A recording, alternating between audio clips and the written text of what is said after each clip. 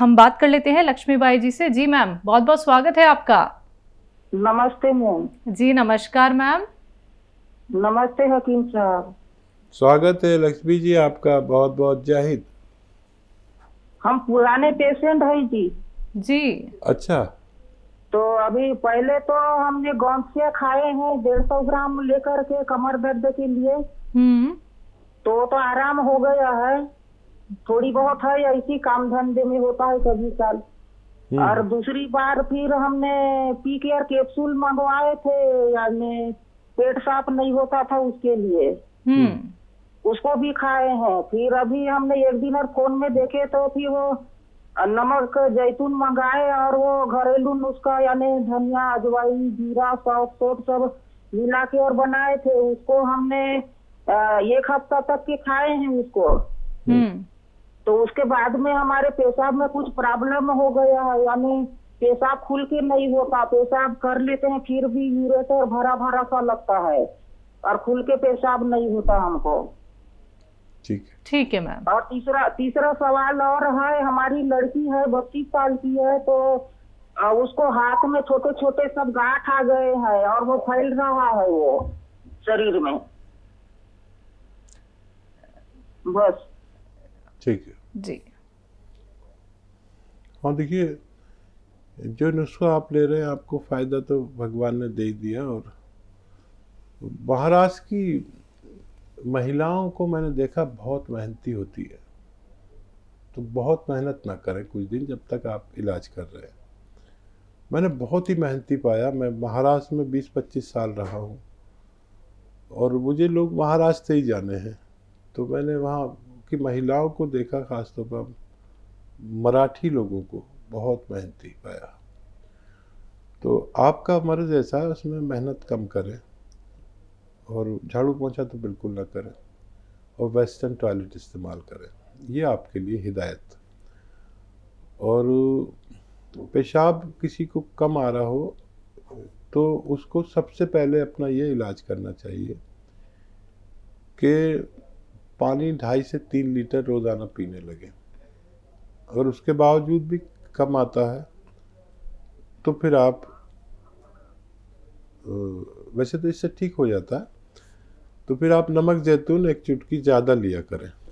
इससे फिर खूब पेशाब आएगा और इन्फेक्शन दूर होता है। और जिस बच्ची के गांठे हैं, उसके लिए एक चुटकी खाने का सोडा, एक चुटकी नमक, जैतून, पानी मिलाकर कम से कम एक बार उसे ज़रूर पिलाया करें और बाकी जो इलाज करना चाहें करते रहें ये उसको ज़रूर दिया करें। उनको भी फ़ायदा होना मुमकिन है। मुजफ्फरनगर से धीरज जी हैं हमारे साथ। स्वागत है आपका। नमस्कार मैडम जी। नमस्कार सर। और ये बालों में समस्या है दीजिए स्किन दीजिए जा दीजिए बालों में? हाँ जी ये काफ़ी समय से दवाई खा रहे थे आपके यहाँ से जी। कौन सी दवाई? नमक जैतून भी खाया है और मोरिंगा भी खाया है जी। हम्म। और सपिस्तान उन्नाव इस नुस्खे से फ़ायदा हो जाए जी मुझे। बस तो। जी। ये बता देखिए मैं बहुत सारे नुस्खे बताता हूँ और किसी को कुछ लग जाता है किसी को कुछ। तो सपिस्तान और नाब अलसी वाला नुस्खा आपको काम कर रहा है। और लोग सोच रहे होंगे क्या नुस्खा है? ये तो बता देता हूँ जो लोग नए जुड़े होंगे देख रहे होंगे। कि सपिस्तान 100 ग्राम उन्नाब 100 ग्राम अलसी 100 ग्राम और 30 ग्राम पीप लें अ, उन्नाब की गुठली निकाल कर फेंक दें और इसको पाउडर बना के एक चम्मच सुबह खाली पेट गर्म पानी या चाय के साथ लेने से और एक चम्मच रात को गर्म पानी या चाय के साथ लेने से ये फ़ायदे होते हैं कि आदमी के बालों में फ़ायदा होता है, आदमी की खांसी में फ़ायदा होता है। खांसी और दमे में फ़ायदा होता है। नज़ला ज़ुकाम, कफ, बलगम में और इम्यूनिटी में फ़ायदा होता है असल में। इम्यूनिटी जिसकी ठीक उसके सारे रोग अच्छे तो ये नुस्खा आप ले रहे हैं, लेते रहिए जिससे फ़ायदा है और छः सात महीने तक ले तो फ़ायदा मुमकिन जी गाजीपुर से हैं। गीता जी स्वागत है आपका। हाँ मैम नमस्ते। नमस्कार मैम।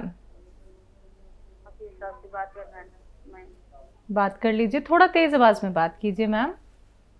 ठीक है मैम। जी बताएँ। हाँ मैम। मैम बोलिए। हाँ नमस्ते हकीम साहब।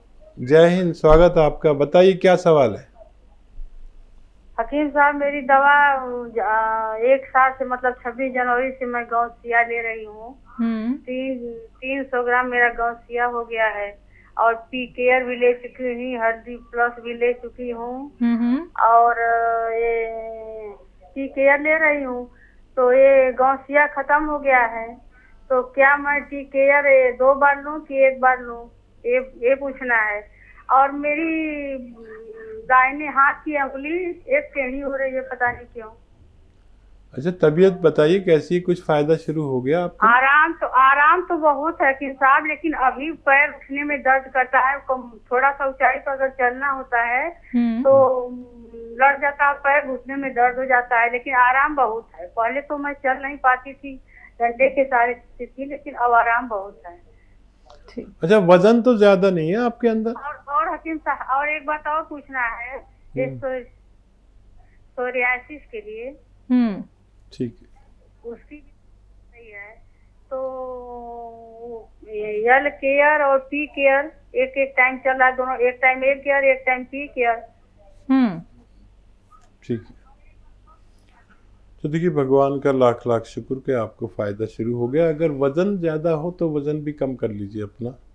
आपके कद के अनुसार ही वज़न होना चाहिए। अपने डॉक्टर से पूछिए कि आपके अंदर वज़न कितना है और कितना होना चाहिए।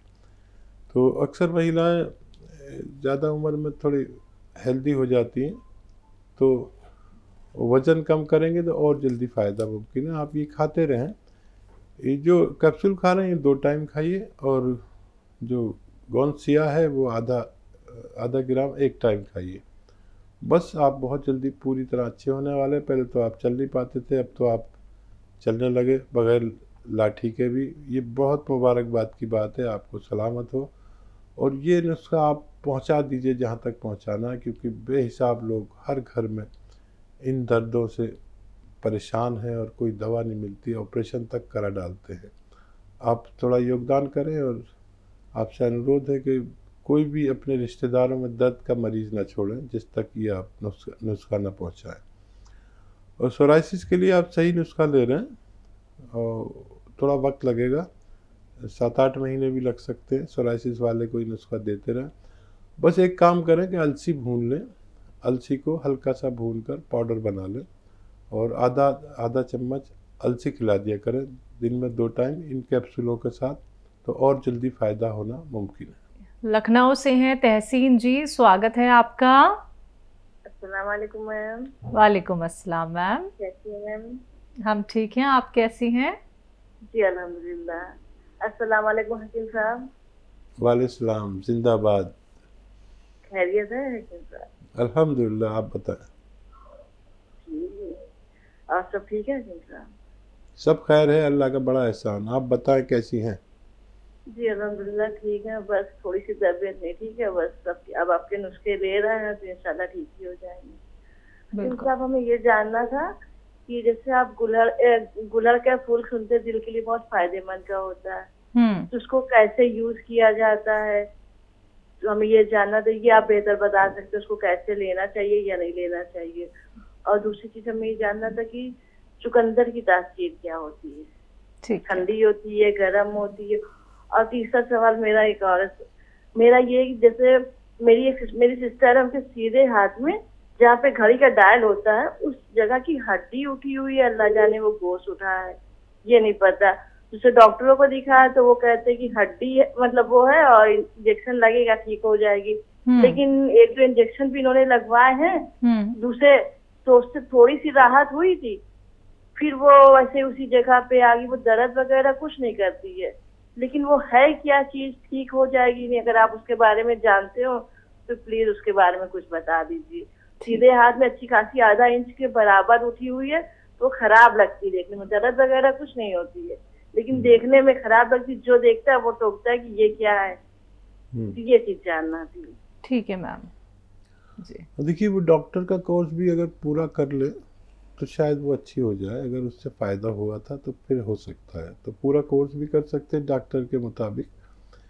और एक ये भी इलाज है यूनानी में कि एक रोटी बनाएँ ऐसी मोटी सी, जो ज़्यादा सेके नहीं, और वो रोटी गरम गरम इस पर बांधी है इतनी गरम जितनी बर्दाश्त कर सके। लेप बना लें।